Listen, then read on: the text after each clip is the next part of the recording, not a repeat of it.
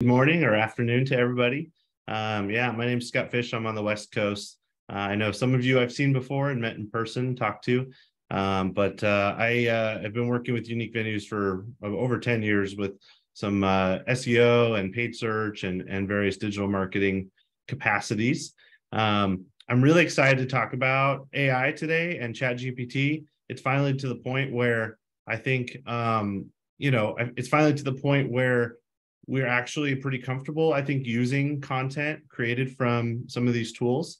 Um, and I think it is a really good tool for businesses that maybe don't have a lot of people or are a little tight on resources or people that just have resources and want to be able to scale you know much quicker um, so there's a lot of great tools that are starting to pop up now we're going to talk about ai um, in general kind of what it is um, where things are going and uh, talk about uh, some of the tools that you'll be able to use in some of your your marketing um, materials and help you do a, lot, a little bit more uh, with your website social media paid search and various different places. So I see a lot of people commenting about where they're from. Looks like we have some people from Maryland, uh, Delaware, kind of all over the country. So um, thank you all for joining us.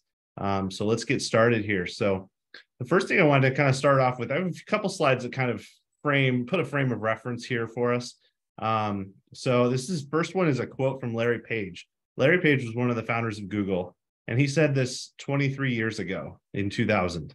Artificial intelligence would be the ultimate version of Google, the ultimate search engine that would understand everything on the web and it would understand exactly what you wanted and it would give you the right thing. We're nowhere near doing that now, 23 years ago. However, we can get incrementally closer to that. And that's basically what we work on. He's basically saying here that once says that once AI has happened, um, that's kind of the ultimate version of Google. And so, you know, in retrospect, kind of looking back at this, they've made a ton of changes over the years um, to create ways for us to interact with Google and and businesses and images and videos and get maps and directions and ask questions and all kinds of different things. This is all kind of leading up to where we are today. Um, and so now, you know, we have Chat GPT, we have G Bard, Baird, which is Google's answer to that. Um, so we have all these tools that are starting to kind of pop up, and it kind of begs the question: you know, at some point, will Google be will be uh, obsolete, or will they continue to um, be a part of our our conversation and what we do for marketing? Um, the second quote on here is from just two years ago, um, and this kind of speaks to where we're maybe headed. Um, you know, the real question is when will we draft an artificial intelligence bill of rights? does does ai basically get so close to humans and start to influence us so much that we start to um, you know make it a much bigger deal in our lives and, and even get into legal questions you know so what what does a bill of rights for ai look like and who gets to decide that maybe the ai tools get to decide that for themselves and tell us what they want um, once they've learned what's what's important so yeah, kind of a little bit of where we've been and and kind of a little taste, I think, of where we're headed. Um, so questions everybody's kind of asking is, you know, what is AI and how does it work? Um, in the most simplest forms, it's basically a set of rules that's been created by humans or machines that have learned to do a task. And over time, that machine or uh, the the set of rules kind of uh, does its task better, faster, more efficient. It learns how things happen and learns what kind of information is out there and what's accessible and how to digest it. And if it does the task a hundred thousand times or a million times, AI essentially learns how to do it best. You know, how what's the best solution, the best uh, answer that actually does what we want to do. So, you know, asking AI a question, it's essentially looking at all this available data that's out there and coming up with the best answer. Um, we're going to get into a little bit of why that is important around what AI's sources are, um, because that has an impact with what gets created. Um, and so this is essentially, you know, right now, you know, if you use Chat GPT or some of these others, they actually say this data, this information is based on data from a certain data point or uh, time frame uh, and back. Um, Google is now starting to look forward. And I think we're very quickly going to be getting into kind of almost real time um, AI uh, and chat GPT uh, language being used. So here's a picture of a girl playing chess against AI. And this is an AI created image. Um, first thing I noticed is it's a little bit uh, dark and dystopian. Um, and so I wanted to bring this up because this is actually a little philosophical before we get started uh, and get too far into the AI discussion. I think this is worth noting. So we've created images and stories about artificial intelligence online for the past 20 years. We've made movies about AI, you know, WALL-E, for instance, you know, Disney with uh, robots and all this stuff. And how do they look? They all kind of look dark and dystopian, grayscales, right? And so when we ask AI to create a story or an image about a girl playing chess against AI, this is the kind of story that we get back. Um, and so it really begs the question, you know, what stories and visuals have we created over the years as a society and a culture that are now going to be reflected back to us when we ask AI to create something for us? Um, and so just kind of a, a really philosophical thing to think about. How have we created stories about gender, race, different people, different places, and how is that going to get reflected back to us? I think we're, as a society, we're in for um, a, a big reflection period because we're going to get things like this that come back to us and we're going to say hey that's actually not what i want. Like i want this to be a happy scene but that's not what we've been portraying this as in the past. Um, so when we start getting into you know talking about specific people and cultures and things like that how are we going to fix some of these ways that we've maybe um, inappropriate portrayed people inappropriately portrayed people in the past? So this is just something to think about you know that again ai is based on available data so this is you know a, very stark example of something that got created based on that available data and we have an opportunity to be aware of that and change that if we don't like what we see okay so how can you use ai today um, I think there's kind of three ways that uh, venues can use AI. One is assets and creation of content. So creating new content, planning that content, and writing that content. Also, image creation and some of the workflow management around that with social media and content creation. There's a lot of great tools now that are incorporating AI concepts into looking at data and understanding you know we all we all used to ask the question like what's the best day to tweet or what's the best time to post a facebook post? That all, all that data was there and available. Now we've got AI, tool, AI tools that are actually looking at that and making immediate recommendations for us based on our own data and the experience that we want to have with our customers so some of that stuff's get starting to get integrated there's a lot of tools to to bring that together the promotion is also getting a lot better. Google, in particular, has always led the way in running really strong data driven decisions with um, Google Ads. And they, you know, want us all to be using use, um, you know, conversion focused metrics and and basically kind of almost run on autopilot based on that data. So we're starting to get to the point now where we kind of create a scenario that we want, uh, put the inputs in with advertising, and let AI driven data start to make the advertising decisions for us. Um, you know, Google, and I'll just bring this up Google is basically forcing everyone to move to uh, GA4, um, the next kind of iteration of Google Analytics. And I think this is, you know, preparation for um, a much larger usage of, of kind of core data sets um, it's going to be a little bit less visual and more um, almost database uh, style analytics that we're going to start seeing. And you're going to be able to create awesome reports from that. It's going to take a little bit of time to do that, but um, that's a, a step where I think Google's trying to integrate more, as much more uh, as they can around like people scrolling down a page, that being a metric, people clicking on things, people interacting with different parts of your website. So it'll be interesting to see how that comes through. Um, so some promotion pieces, and I think we do have like really good channel management now, but I think with AI, you're going to be able to eventually say, you know, there's going to be a tool someone's going to create that says, look at my Facebook advertising, look at my Google Ads advertising, look at my LinkedIn advertising, and these three other places and figure out which channel is the best for me in terms of performance. and then create new ad copy for all the other channels based on this right that's kind of here um, it's happening you know it's it's uh, there's tools out there that are starting to do that and then management. I think you know tools for better managing relationships is is important. We're we've the the bots you know on websites have been around now for a couple of years. Um, you know i it's a little annoying. Sometimes you go to a retailer and you start asking questions and you know you're not actually talking to a real person. They're just your questions are querying a database essentially. Um, so you know that's going to evolve over time and and be able to use actual ai driven data um, instead of um, just kind of querying a, a, general database of, of information um, and then project management is another one too there's a lot of ai tools that are using project manage that are being used in project management already um, and sales as well. You know, Salesforce is is connected in with um, Chat GPT and OpenAI.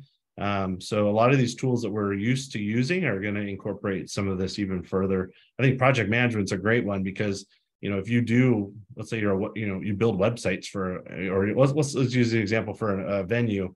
You know, if you have a event type, let's say a wedding, that you have 50% of your business and you kind of know what the workflow and timeline of things generally looks like, AI is going to be able to help you with managing that project and let you, you know, kind of trigger trigger emails out to people um, for planning and you know get together with your operations team to let them know that hey something's coming up that needs a decision being made around so um, some of those tools exist out there you know they're just um, in different forms and um, so I think that's a good way for people to start using AI.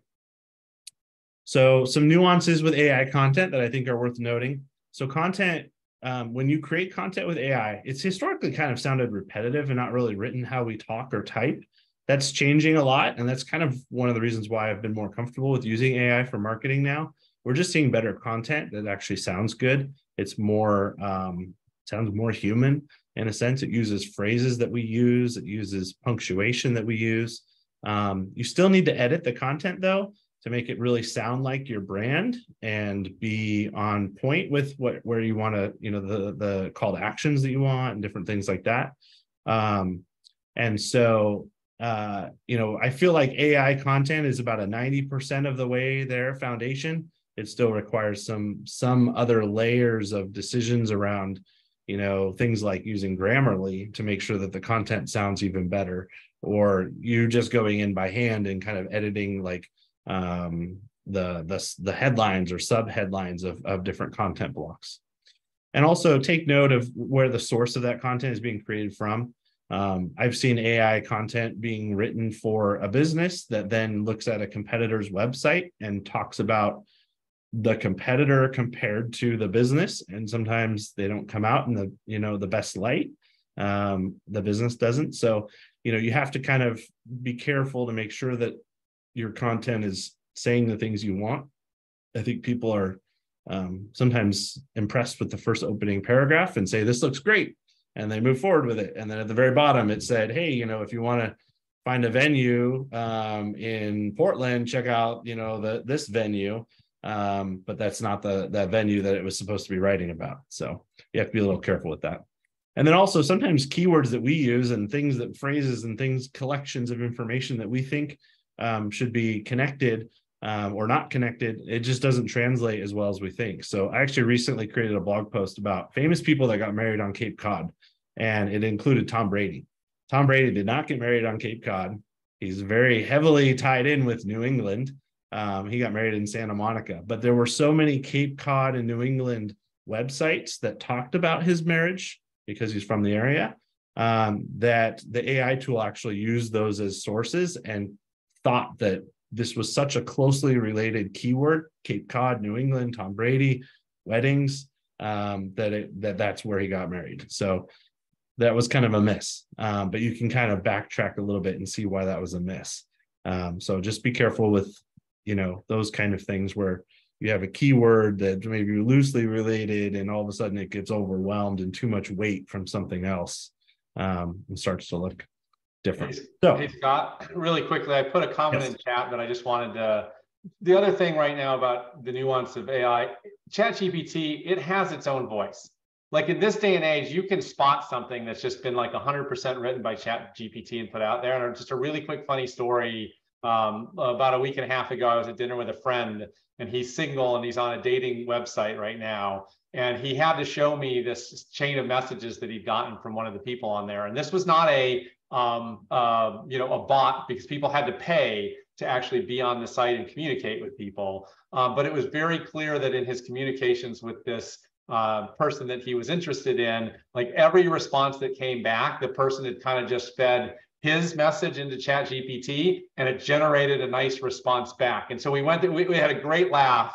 I mean, I feel a little bad for the person out there, but it was like a hundred percent clear that like he had put at one point that had been out hiking and he got a little sunburn. And so the next response back was like, oh, uh, sun cancer or cancer from sun exposure is blah, blah, blah. And you should do this, that, and the other thing. And yada. And you just, I mean, it was just on like every message. And I think it was either the person was communicating with so many people, they thought that was their strategy, or they just weren't really realizing that, again, in this day and age, it was very obvious that Chat GPT had written these responses, not the person that uh, they yeah. were engaged with. And that that's a good point. So that actually speaks to like the weighting of information. Like if you create a blog post and you want it to be about the best things to do in a city, um, it might put too much weight into certain types of things, like free things to go do, um, or it may just not even mention your part of the city, right? So um, that's just something to kind of be aware of right? Like you like cancer being a big deal right? Like they shouldn't that was that got too much weight in the ai response essentially for that actual conversation to make sense.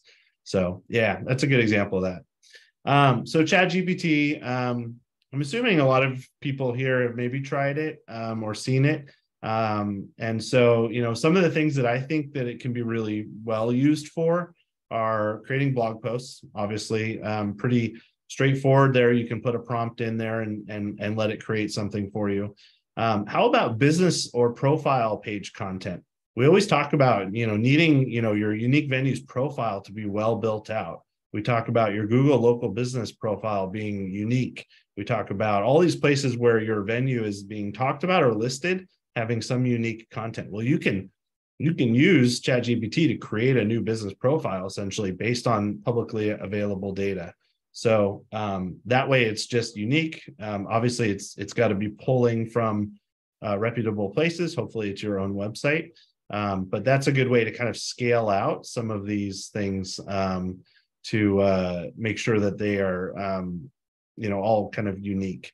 Um, another thing is, you know, I've I've tried this and it actually works pretty well pull in information about reviews of your business from places like Yelp, Google Local Business, uh, Facebook, that kind of thing. Um, that could be kind of good, unique content. You can actually get like quote snippets in there that you can use.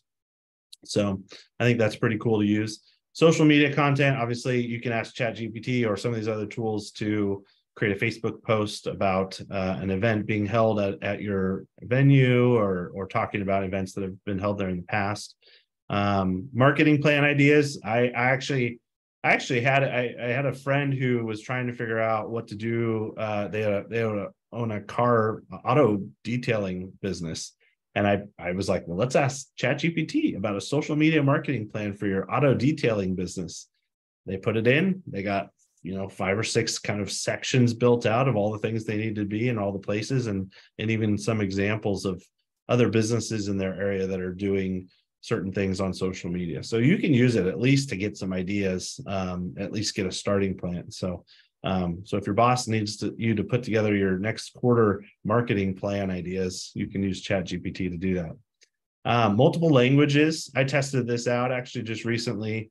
Um, you know, create a list of things to do in San Francisco that are in Spanish. Um, worked pretty well. Um, ChatGPT understands lots of languages. Um, and it's not just translating existing content, it's creating new content in that language. So that's a big difference. Um, you know, a lot of times people wonder if they need a Spanish version of their website or Chinese. You know, on the West Coast, a lot of venues tap into the Chinese travel market um, and Japanese travel market. So that's something that's you know useful to have on the site in some way. Um, but yeah, it's the languages are really kind of exploding with with the um, with the AI pieces here. Um, you could also create a list of prospects. Who are the biggest tech companies in my city? Who are the biggest, you know, uh, medical related companies in my city? Um, at least to give your sales team a starting place um, of, of companies to go reach out to. Now, some of the limitations related to this specifically are um, at this point, ChatGPT does not give you contact information for people. In fact, if you try to put it in and say, give me the, you know, contact information for the top five uh, conference centers in Oregon, um, it's going to give you the conference centers back, but it's going to give you fake data around the people. So um, that is something that may change. Um, there's a lot of tools, obviously, out there to get contact information. Um, so you could use business list names and then um, go get the contact information in a different way. And then um, another limitation here is that data uh, is obviously from a certain time frame and generally has to be known um, publicly. So if you're a venue and you've changed your uh, hours or the types of venues that you're trying or events that you're trying to attract, or maybe you're a university and you now have a new event space that just opened up, but that data is not publicly available yet. ChatGPT is not going to know about it until there's something out there that talks about it. Hey, Scott, you may be getting this later in the presentation, but Carla had jumped in kind of on the tail end of our last conversation saying there's likely a nefarious side to AI.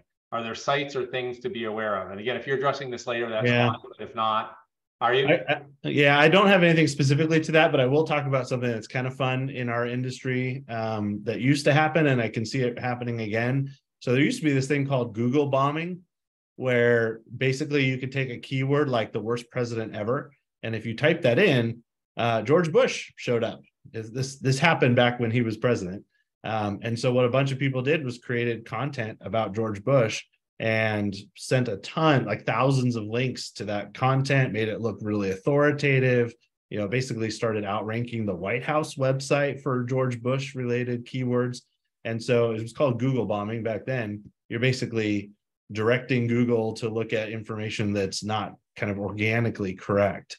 And I think that's probably going to start happening with AI. People will start putting out content um, that maybe isn't correct, and maybe it's not uh, like malicious, but like, hey, let's say uniquevenues.com created a list of the top 10 conference centers in the country and someone asked the question that question give me the top 10 conference centers in the country and ChatGPT found it and included part of that list in their response.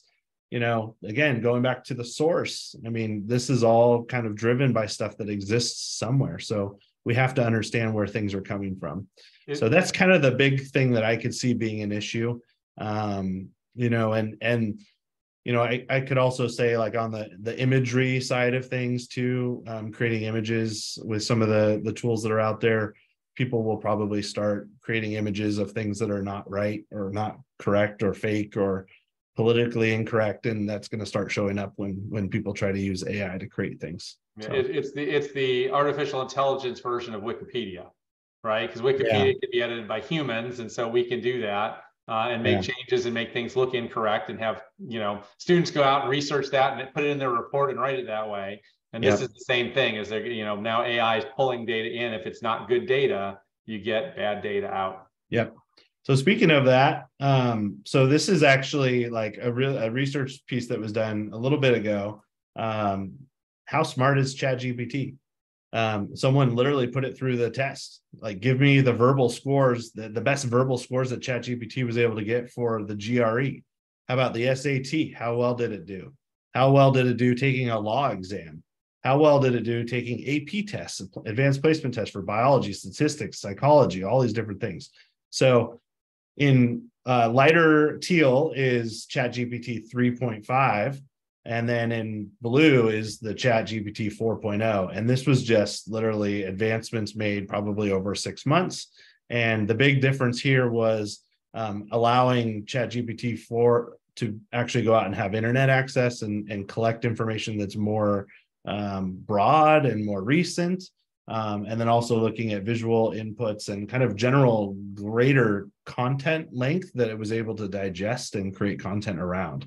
So you can see here, it's made huge advancements just in the last year. Um, we're going to probably see, you know, a version five coming out soon that's going to do really well um, and answer some of the things that are down towards the bottom a little bit better. Uh, my wife's a high school teacher, so I've actually tried, you know, some of her prompts that she has around, you know, uh, American politics and government and history and all that stuff. And I, I did try something with her back in December she gave me a B plus on a paper that I wrote with ChatGPT, which outscored several of her kids in her class that are actually taking the class. Um, so, you know, teachers are aware of this, academia is aware of this. There's going to be tools that figure out whether something's written by AI. I would say that's the one thing that AI does not do well right now is have opinions. It's it's based on fact. So if there's an opinion question being asked or opinion content piece that needs to be created, you kind of have to inject your own opinion or at least sway chat gpt with your question that you're asking um, to be a little more slanted on your opinion that you want to have. So um, another tool that i like is jasper. This one's the, the kind of relatively inexpensive one. Um, i feel like this is probably the place that a lot of people have started once they've maybe learned about chat gpt or even they heard about you know ai before chat gpt because jasper's been around for a while. The nice thing about jasper is they have a lot of pre-built templates. So you can go in you can see down along the bottom here on my screen there's a lot of templates that are built. These, this is a small sample. They probably have 40 or 50 different templates. You can create blog post ideas. You can have them create google ads descriptions google ads titles. Um, you could have them create unique personalized cold emails times 30 and then do a mail merge, you know, or in MailChimp and test out different uh, email outreach programs that you're doing and see which ones perform the best. Um, on the SEO side of things, product pages, titles, and descriptions, all that can be pretty easily done. Again, it's pulling data from, you know, a product page on your own website. So if your product description now is bad, it may pull something that's not that great um, unless there's some other information being listed there. So a good example of this might be, um, you know, uh, uh, pulling out information about like a venue size or uh, seating requirements or capabilities. Um, you know, if you're overshooting or undershooting for various reasons, you know, some of this information might may be um, not as correct as you think. And then the last one on here is a listicle. So this is basically create a, a numbered list based of, of, of content pieces on a certain topic. Top seven places to go if you're attending an event in, you know, Portland, Oregon. Uh, things to do. Um, top five event types that the South San Francisco Conference Center holds every year, and it maybe lists out those those um, event types. So I think you could easily use it to create some some kind of interesting pieces of content. This is probably the one that I think, aside from ChatGPT, this is probably the most useful one for everybody um, because the content templates are pretty well built out and it kind of guides you through. Um, it's pretty quick and easy to learn and figure out things once you get going. You can even talk about the tone. You can put in um, who our who our uh, audience is so you could put event planners in there, right? Um, so there's a lot of ways that you can use this, uh, I think, today. Another one is called Flick. This is more of a social media content creation and planning tool. It's kind of the next generation. Uh, we used to use like TweetDeck and Hootsuite and all these other tools. This is kind of the next iteration of that, pulling in all the information, allowing you to, to plan things out, and then assisting you in what comes next um, based on on what the data is that they're seeing. They have a cool thing called an ai content lab which actually helps you create like hub and spoke content lists that are built upon each other. So um, if you think of one concept and then um, you know five subtopics around that concept uh, it can help you figure out what those topics should be and what kind of social media content you should create for that so pretty cool tool um, uh, fairly inexpensive on here, um, but a but a good one if you um, have a team member that that manages your social media. Okay, AI image and visuals. Um, check out this pretty sweet wedding venue on the right. This doesn't exist, but Midjourney, one of the tools for AI image creation, created it um, out of the out of the out of the uh, thin air. So there are some tools to create really cool images um, that could be good for filler on your website, could be good for social media or blog posts. Um, images, AI image creation right now is is still developing. It's not great. Um, Midjourney for a while, uh, they just kind of got things corrected. We're putting, you know, six fingers on a hand or missing a ring finger, or if you're if someone was holding a, an object, you know, the the hand wrap didn't work out correctly. So there's just weird little things like that that uh, image AI is is having to deal with and fix shadowing um, and you know things I mentioned before around just like the style of images. Um, I have a friend right now that uh, is working with a motor a large motorcycle parts retailer and they're trying to create AI content around motorcycles uh, and images and creating like the V6 engine from like a Harley Davidson motorcycle and have it actually be correct with all the pistons and all that stuff AI is totally failing at it. Um, it's just too complicated to put some things together. Another area where AI is just is interesting to use, but um, you know, like you may start seeing it in blog posts. Um, you know, companies that have like that sell shirts or some brand, they're trying to figure out how to use AI to create like basically a a a, a, uh, a person wearing their product, maybe out on a hike um, so, you know, if you're a Columbia sportswear, create, you know, you might say create an image of someone out on a hike wearing Columbia sportswear shoes. Well, integrating the brand onto the person and having it look correct is is pretty tough right now. But that's something that obviously is going to be happening pretty soon um, and and do pretty well. Right now, a lot of the AI images that you're seeing people use on a commercial basis are people looking away into uh, the space so you don't see their face but you still get the concept that someone's there doing something. Um, so an example here might be people at a conference um, or at a wedding. Um, if we had people in this photo, they probably would all not have faces and be looking, you know, uh, away from us uh, for it to actually look good and make sense. But you know, this is obviously improving um, and can be something that uh, is going to probably advance here pretty quickly. okay, uh, video and AI two sites that I like. One is called Pictory. This is an AI video generator tool that allows you to kind of create high quality videos. Probably one of the best tools for someone that doesn't really have any experience in video editing and design. You can create a script and then the tool turns your script into an outline for video production. It's pretty straightforward. Um, these are really good for you know creating explainer videos. Same thing with Synthesia this is another tool that actually creates AI avatars. So that girl um, at the bottom is not real, um, but she talks and she could be talking about your event venue. She could be talking about, you know, you could create a video specifically about wedding planning, conferences, um, summer camps, STEM programs, you know, all these different things. You could have a video specifically for each one. I think all the venues that are here today could probably create a, an AI created explainer video that you could put on your website and use that as your sales tool and use that even as a way for people to just get information without necessarily having to contact you right out of the gate or you turn it on to them once they've emailed you you know check out this video for more details on all of our event spaces for instance uh, management and sales uh, this is a tool i use a lot. I think everyone here could probably use it. It's called fireflies. It's an AI note taking tool. Um, you basically add them as a person that attends a meeting on Zoom or Google Google uh, uh, Google Meetings or any of these others, and uh, it creates a transcript of your conversations for you. It's basically taking your notes, um, and you can also see who talks the most by percentage, uh, which is kind of funny to look at sometimes yeah, Joel, I've got the higher percentage today, but you can interject at any time.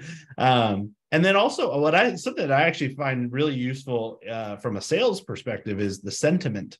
Actually will give you the sentiment of the conversation and show you points where things were really positive or negative or in between, um, happy, sad. So, based on the words that people are using, um, you can get an idea of what was being said. I think this is a great tool for any sales team that's doing a demo um, because you can kind of run through this and, and it's got the notes of the person you're talking to um, or someone who's doing a, a kind of uh, discovery call with a new uh, event planner that wants to hold an event.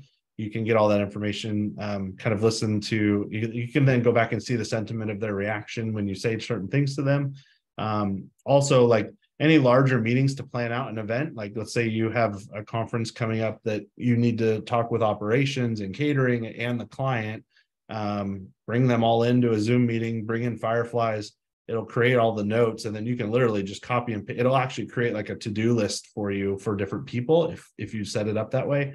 Um, and it, you can literally send that off to all the different departments that you work with um, or different uh, kind of um, key players uh, that you're working with another one totally different reply io um, this is a tool for automating email messages and responses. So if your sales team is on vacation or you are a one person or two person organization and you're just not always answering your email within a couple hours it could be a good tool for you to set up um, like responses based on what people send to you. Um, and uh, it's a pretty good tool for for doing that. It's also a good like email initiating initiating tool for um, outreach um, and then any, any like you, can actually pull in like uh, uh, data from other places like your social media channel and and it'll pull that into your email and then send that out to people um, periodically. And you don't have to send the emails out. It'll just pull in the most recent post and send that out. So if you always did a post on facebook on mondays about something you could set this up on tuesday to pull the most recent post and send it out to um, prospects as kind of a way to highlight uh, events that are being held at your space so kind of cool. Yeah, uh, I see Joel's keeping uh, the accounting on us here. So Jasper is about 40 bucks a month. Flix is $13.12 a month. I think it's in it's in euros. Uh, and Fireflies is $10 a month. So um, you know, if you look at a, a, marketing stack of things, right, you're still un, under easily under 100 bucks. Um, you could add in a few more and, and still be doing a lot with a lot of these tools. So how will planners use AI? this is kind of interesting. So I'm actually going to um, exit my screen here and pull up some examples of using this. So here's some prompts. We're going to use this is so this is ChatGPT. So compare the Mission Bay Conference Center and the Oregon Convention Center as if I were holding a conference event. And so here's kind of a real time look at what ChatGPT does. Um, and and I'll kind of talk through the things that are happening here, right? So they're they're recognizing the the name of the place and giving that a headline, giving you some kind of a, a, a summary of of where it is, what it is, where it is. They're giving you the location. They're talking about the facilities. They're going to talk about accommodations and different things, um, how to get there. So ChatGPT, for whatever reason, views these as the important things to talk about for that venue, right? Um, now they're going to tell us about the Oregon Convention Center and probably use the same format and then probably give us a summary at the end with I would say not an opinion recommendation, but maybe a if you want to hold this event, this is a good spot. If you want to hold this one, this is a, a good spot. But again, this is where ChatGPT and others just they don't have the opinion, you know, piece um, to really tie all of this together. Where you might have to add in your own your own pieces. Yeah. So it, it, sure does tell you what kinds of things should be on your website, or sure what, kind, or what kind of testimonials you want to get from yeah. planners or attendees to put on your website, so ChatGPT can find those things and put it in a response like that. Yep, that's a really good point. So um, yeah this is all yeah if you if you don't have information about travel and facility like the, it's st- structured in this way then you're kind of missing out. And that's a really good point too. So google and other search engines and all these tools like structured data. So we've all been hearing about structured data for probably five or six years. There's the schema markup. There's all that stuff so that is in preparation of now us being able to use these tools to go collect structured data and have it actually be correct. And, and actually, Scott, I just thought of this as you were saying that. The reason it looks that way is because if you think about any major hotel chains websites, um, travel, accommodations, meeting space, you know, those are categories that you see commonly reflected in their thousands of you know, shell templated mm-hmm. websites that they do for each property that they have in their chain, which is why ChatGPT, since it is saying a scale of 15,000 all presenting information that way, it's going to present it back, which means that again, for those of us that are unique venues, maybe we don't want to, you know, act the same way as those uh, chain hotels do. But the reality is, is that they're always going to win in helping to describe the future for how these things are being answered because they're always going to have the volume. And so doing this is also a good reflection to say, how can I model some of what they're doing, but then make my information better or still display my uniqueness in and around some of these standard things that people are going to be that that AI is going to look for and reflect and spit back out as it's doing these things. Yeah.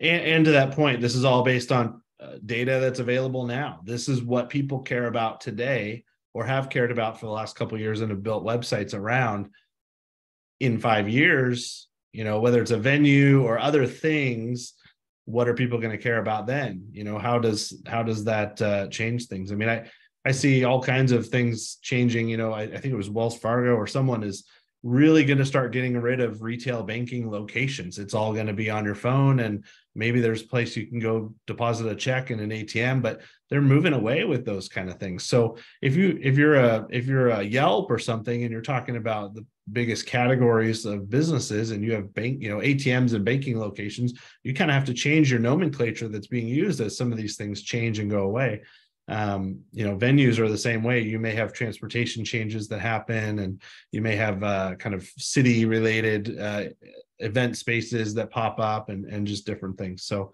um, yeah so here's another example. So what are the best cities to hold a stem focused kids camp for the summertime in and where can i host the event? So you know ChatGPT is probably going to give us the top kind of hubs of STEM um, areas and then maybe recommend some venues for us to uh, hold an event at. So sometimes you, you, if you think about it, these are kind of the big ones, right? Um, we're getting, um, you know, Seattle in there is interesting. It's probably more tech. North Carolina is probably the kind of odd one here. Um, it's not a big city, but it's probably also pulling in from something around um, well, it's, the technology. It's the research triangle, right? So Raleigh yeah. Durham, it's all known as the research triangle. So this is one where AI is missing the point just a little bit, but yeah. it's taking what it can find out there on the internet. Yep. Yep. So, you know, this is something that if someone was, uh, if you're in, a, if you're a, uh, uh, if you are a uh, kind of larger website like unique venues or some of these directory other websites that are out there or travel and tourism sites you know this would be a really easy blog post to put together. And i noticed it didn't really fully answer your question because it didn't really tell you any places yeah. to, to hold it. So it didn't make that connection. Yep i'm going to do this one this one's kind of cool I, I was playing around with this a little bit earlier so i know what some of the answers are on this but this is something that um, you know, this is going to, if you think about where we're headed with results of and using Google, I mean, who can I hire in Portland, Oregon to help me host an event? Um, it's giving me my list right here. You know, this is taking the place essentially of Google local business. Um, it's taking the place of the map listings um, and kind of giving me an opinion on maybe who is good or or good to use. I did do this before, so I got a different result. I'm going to actually stop generating here and show what my previous results were here. So I asked the same question and it gave me, instead of a list of companies, it gave me a list of the types of businesses that I need to reach out to.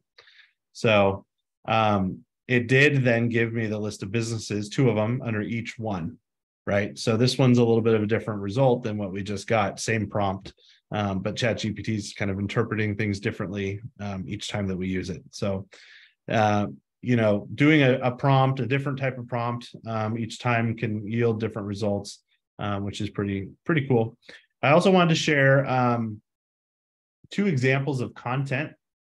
So one of the things that people are doing is they're going out and creating AI or uh, API driven chat GPT tools like Jasper. Jasper's kind of pulling in this information and they're stacking multiple things on. So I have access to a, a tool that's like this that can, instead of creating 800 words or thousand words, it can create a 4,000 word article for you. Um, so this was the prompt I gave it. What are the biggest pickleball tournaments in the United States and where are they? And we have 13 pages of content. This is a massive article. It talks about pickleball in general, types of tournaments. There's a national championship, um, the different locations and divisions, and how do you qualify? And then, you know, what are some of the bigger events? Um, you know, all these things that are happening. So this is a stacked piece of content that has multiple layers to it. Um, I'm going to bring up another one that's similar to this, totally different thing, but related to this audience. Uh, corporate event planning trends for 2023, 12 pages, right? So these are the things that are influencing our corporate trends. Here's how technology is shaping corporate events. Um, health and safety. Obviously, we're just coming out of the pandemic. This data is all out there. A lot of people have webs. This COVID information on websites is putting it almost front and center, right? So this is a good example of what's going on in in real world is is driving the weight of some of these responses.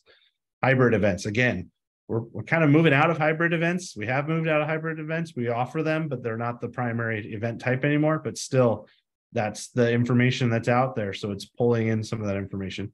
Sustainability and eco-friendly, another big one that's really popular right now. So we're getting that. Um, and uh, you know, some different things here that you know you might want to build out. So this article could actually be, you know, this tool actually gives you the references of places that pulled information from. Um, so you could you could go back and kind of tweak this a little bit, knowing where it came from. You could also break this up into two or three different blog posts, um, or use it all as one one piece. So this is the kind of stuff that's being created out outside of Chat GPT and some of these other tools. Um, that is kind of a, a coming piece. So I want to bring this all back full circle. I know we have about 10 minutes, but um, we all care about Google. Google's still the biggest search engine in the world. You know, definitely in the U.S., the biggest one. Uh, ChatGPT and you know Microsoft are teaming up, and so there's a lot of changes happening. So Google has had to accelerate their involvement with AI in the last couple months. So they've actually started coming out with this new thing called Search uh, Google Search Generative Experience (SGE). This is Google's answer to bringing AI information and chat based AI information into the search results that we all are used to. Um, so there's a couple different things that are happening here. Um, so this is the first one here. This is this is a, a, screenshot of what Google's labs are showing that how they're going to bring in AI into um, some of our search results. This is um, you know absolutely driving us SEO people and marketing people nuts because it's pushing everything down even further. And it's kind of fulfilling one of Google's ultimate goals, which is to keep people on their website as long as possible, pull in information from all these other places and keep you there so that then eventually you'll click on an ad and, and they'll make some money. Um, there's definitely going to be some copyright issues, some access to content issues that come up from this. I've already started to see, you know, people starting to say, I'm going to block Google from crawling my website for the AI related pieces so that they don't just pull it in. Um, so there's definitely going to be some ramifications coming out from this that we don't know about. Um, here's another example of kind of some um, pieces where it's pulling in content and it's it's kind of bringing in groupings of information that uh, you know you may want to talk about. So this is kind of where Google's headed. Um, and again, I'll go back to Larry Page's quote. You know, 23 years ago, he said, "Our ultimate goal is to basically move to a world where everything is accessible and we know what you're talking about." And we're kind of there. Um, and so Google's, you know, potentially going to be obsolete in our minds at least you know in some way um, in the next couple of years if they don't keep up with what's going on. So um, yeah. So to kind of wrap things up so the best ways that you can use ai right now create some large scale ai written and human edited content. Get some better stronger social media presence without much time that's required.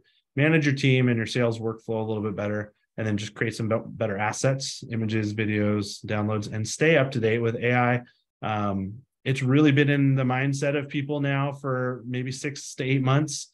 Um, if you're on the edge, you've probably been talking AI for a couple of years, but it, we now finally have tools available that everyone can use and understand and it's empowering a lot of people to do a lot more with content it's also creating a scenario where we're just creating lists of curated content that are eventually going to get recurated and more lists of lists of lists be created. So i don't know where that's going to take us. Um, you know inevitably we, if we just keep keep creating lists of things that have already been created and referencing you know ai written content that was written a year ago like it's you know the telephone game ultimate scenario here of stuff's just going to get changed over time. So we have to keep an eye on the the uh, authority and the source. And i i will say i think that's you know i have two kids that's one thing that i think will be a paramount thing for them in education to learn is how to figure out the original source of something and whether it's trustworthy whether i believe it is it real um, the next generation of kids coming through that's going to be something that they're going to have to to kind of uh, wrangle with so um, that's about it. I'm wrapped up. If we have any questions or comments, I'm happy to take them. I'm going to stop sharing my screen. And uh, Joel, if you have any. Yeah, I'll, I'll throw it out there. Uh, again, the, the session evaluation poll is up. So if you have to drop off, please uh, take a minute and, and oh, there we go. Uh, take a minute and uh, uh, fill that out before you go. If anyone has a question for Scott last minute, either throw it in the Q&A or just put it in the chat at this point, and uh, we'll make sure that we can answer it. Uh, you know, um, the the friend that I had dinner with um, a couple a couple weeks ago, the one that had the dating site thing, we were also playing around with it then, uh, and we were trying to get it to uh, well, what we we we got it successfully to do. We were doing um, we had put in song prompts. So we would say, create a song about a guy going to buy all the ingredients to make fried chicken and do it as a country western song. And then it would just spit like three or four verses and a chorus back out.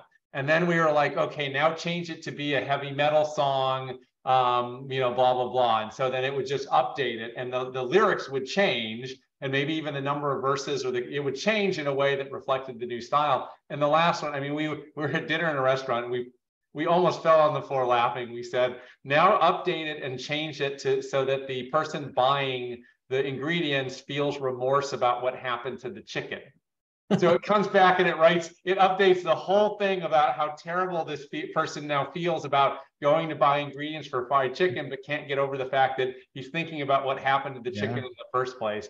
And it was, we were just rolling on the floor. It is, oh, it's truly incredible to, if you have never played with it. Um, that's funny. It, it is, it is, there are so many creative, funny, interesting things that you can do with it. Um, but it's it's scary how fast it, it does this and how true. I mean, it was a country song, and then it was a heavy metal song, and then it pulled great language, and it, I like things rhymed, and like this could have been a a, kind of a jokes like a Weird Al Yankovic writing a song, and you'd never know the difference. Hmm. So it, it's there's a lot to pay attention to as this continues to evolve over time. Wow. That's crazy. Yeah, I've seen some I've seen some examples too of people talking to AI and they want it want AI to talk back to them in a certain way like uh, as if I were in a murder mystery or something. And and what happens then is the AI goes out and learns what happens in murder mysteries, huh? and it kind of starts talking like maybe they're going to be the one that you know is is the the person in Clue that everyone's trying to find, right? Like there's stuff that happens with AI that it learns how we again how we as society have you know talked about things and and uh, AI picks up on that very quickly. So what you're talking about here with song lyrics of like things should rhyme, like AI knows that things should rhyme in songs. There's a cadence to things. So um, you know that's stuff that AI is kind of learning and um, you know exponentially increasing its knowledge around. And yeah, I mean we're we're at a point where we don't know whether stuff's created by a person or a computer um, and whether it's right or wrong so yeah it's exciting times. It's empowering a lot of people. Um, i've been cautious on ai and, and content written by ai but uh, i think we are at a point now where we understand it enough to at least feel empowered and there's enough tools that can kind of let us do what we want to do. Yeah and it, it's a you know it's definitely one of those things you have to weigh the stakes. So to, to write some social media posts for you that are pretty low stakes and just bang some stuff out so you're not wasting your time trying to do that, that's great. Um, I would not recommend using it to put together a response to a bid for an event at your venue. Um, unless you were really going to just very much ask for an outline and then build it out or, or do some heavy editing to it. Because again, I yeah. think the stakes are much higher in that particular case, and you want to be a reflection of yourself and your venue when you do it. But there are lots of great ways that you can incorporate this technology into making your life easier and spending less time trying to sit there and crank some stuff out. Uh, yeah. It just needs to get done in process. And and some of you may have noticed at the bottom of the description for this webinar, it said, "P.S. This description was written by AI." I put that in there. That was kind of fun. It was actually written by AI, and AI went out and figured out what kind of uh, webinar needed to be talked about. Uh, the topic should be for event marketing um, using AI technologies. So uh, it saved me a lot of time and thinking about that gave me a nice outline. Um, so that was kind of a cool way to to introduce those of you that uh, noticed that to some of the AI capabilities. Yeah. All right. Well, I haven't seen other questions come in. Uh, we've had a few people start to drop off. We're right about at the end of our time. Thank you, Scott, for your time today. This was hugely valuable. And uh, i know I'm looking at the evaluations, looks like most people got something really great out of it. So uh, glad that we could do that for you today. I will get the uh, slide deck out uh, to everyone so that they can have that for their records. And uh, we look forward to seeing you on a future Unique Venues webinar. Everyone have a great rest of your day and uh, we'll talk to you soon. Bye. Thank you. Bye.